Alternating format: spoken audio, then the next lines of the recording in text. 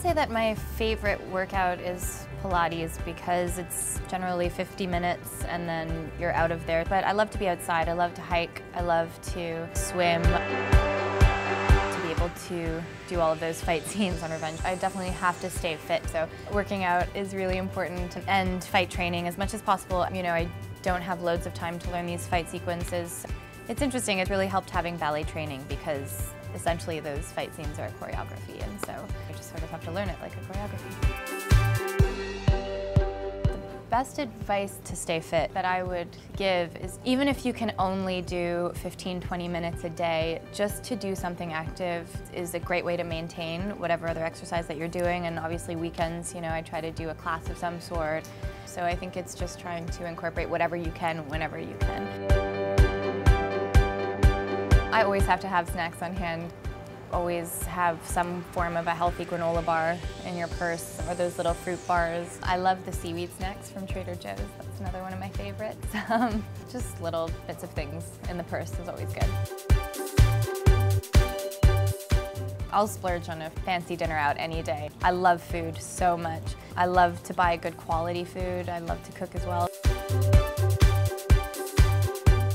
My number one style rule is probably to be comfortable no matter what. I think that if you're comfortable in what you're wearing, you'll exude confidence. The difference between my style, my character's style, I don't particularly like to dress up and she's always in these beautiful glamorous outfits but I don't think that she actually likes wearing those things either. When she's doing all of her revengey things she's in her black pants and a hoodie but she has to glam it up for all of these big Hamptons parties. I generally prefer to be comfortable in jeans and a t-shirt. My best beauty tip would probably be to drink lots of water and always wash your makeup off at the end of the night.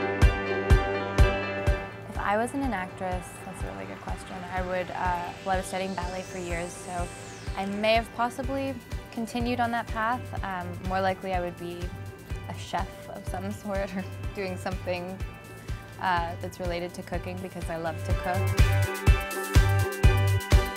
When I have downtime, I love to travel. I love to cook, as I was saying. Barbecues with friends, spending time with family, so important and so necessary.